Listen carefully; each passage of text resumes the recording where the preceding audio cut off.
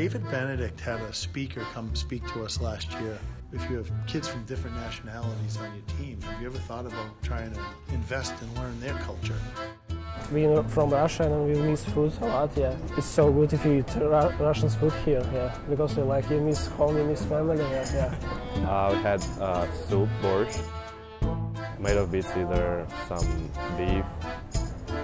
It was pretty good, but it should be a little more watery. Like we had chicken Kiev, it's, it's cutlets made of chicken and uh, butter inside. We had uh, buckwheat kasha with uh, peas in it and, uh, and mushrooms. And for dessert we had cottage cheese pancakes and with sour cream. It's nice to have Russian food here. I haven't been at home for six months. Like it's, it's good to have some diversity.